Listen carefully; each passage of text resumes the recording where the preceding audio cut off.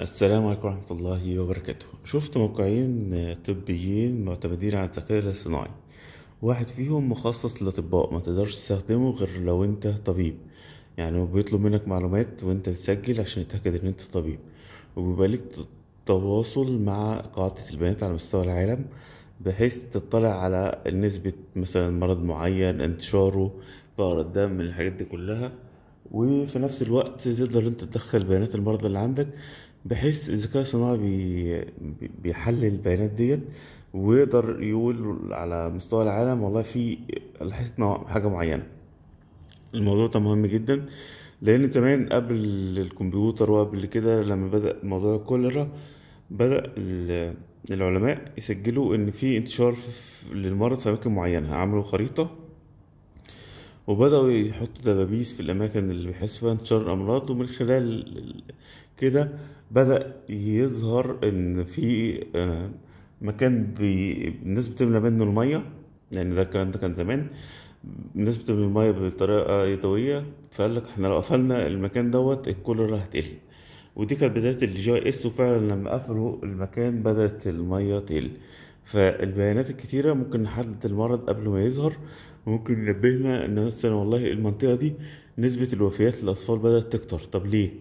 نسبة ال- ال- الكبار في السن بتزيد. طب ليه؟ فنبدأ نحلل البيانات ونوصل للنتائج. دي فكرة ال ال البيانات الكتيرة أو ال big data. وده موقع جميل جدا. في موقع تاني برضه جميل وإن شاء الله نتكلم عنه في فيديو مستقل عشان محدش يفتكر إن أنا بهاجم التاني. هو معتمد على الذكاء الاصطناعي في إن أنت تتكلم معاه وتسأله لكن هو متخصص في الأمراض ومتخصص في الأدوية. ودي آه، حاجة جميلة لكن هتأدي الكارثة يعني حاجة جميلة لكن هتأدي الكارثة.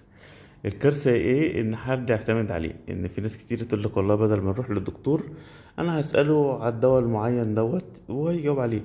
مش واخدين بالنا إن جسم الإنسان معقد يعني مفيش حاجة اسمها دواء وخلاص لأ ده الأدوية مع بعض ممكن تتفاعل وممكن تسبب أمراض. وما ينفعش إن أنا أعتمد على نفسي إن أنا أشخص نفس المرض وآخد الدواء.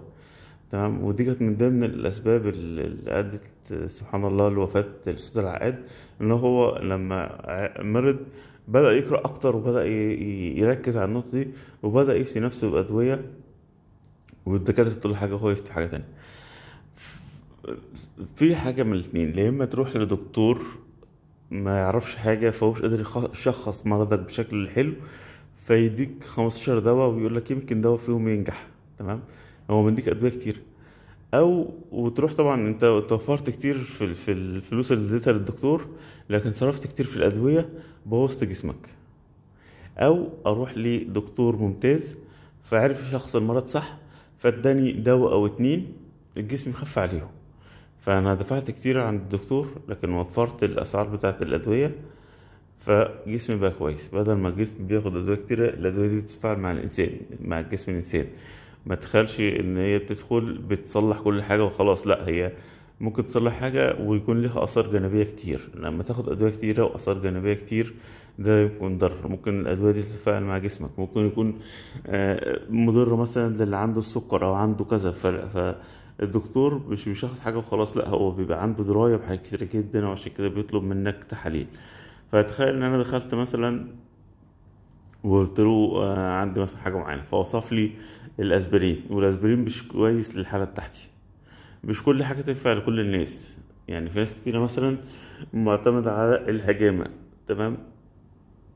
ومش هندخل في قصة هل هي مسنة ولا مش مسنة. يعني أغلب الأحاديث مش بتحس على الهجامة قد ما بتذكر إنها موجودة أو إنها من ضمن الأدوية اللي موجودة.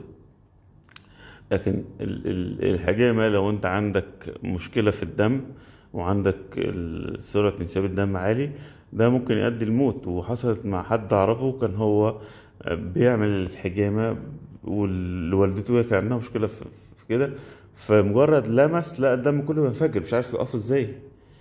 تمام. فلا الأحسن إن أنا أروح لدكتور والدكتور هو اللي يستعين بالذكاء الاصطناعي. أنا مش بجرب من الذكاء الاصطناعي وبحاربه لكن استخدامه لازم يكون عن طريق حد متخصص وإلا ممكن يديني حاجات كتيرة مضرة. تخيل واحد مثلا يقول لك إيه أنا مش هستعين بالمهندس وهستعين بالذكاء الاصطناعي في تصميم البيت.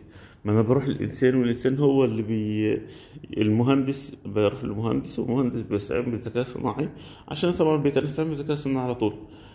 فيعمل لك بيت شكله حلو قوي يعجبك لكن ما تطقش تسكن فيه. فأنت صرفت فلوس كتيرة على البنى لكن لما دخلت فيه لقيته غير صحي.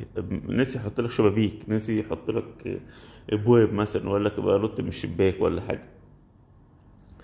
فالمثل بيقول ادي العيش لخبازه ولو أكل نصه. سيبك من فكره ان أنت عايز توفر فتتقلب عليك وتلاقي نفسك أهدرت الفلوس بتاعتك لا حط روح لحد متخصص وقول له والله استعين بالذكاء الصناعي زي ما انت عايز لكن اوصف لي الوصف صح.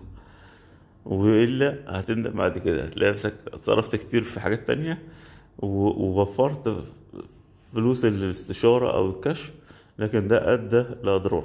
فنخلي بالنا ويعني آه، ممكن تاخد وصفة غلط. دي أهم حاجة. ممكن تاخد وصفة غلط.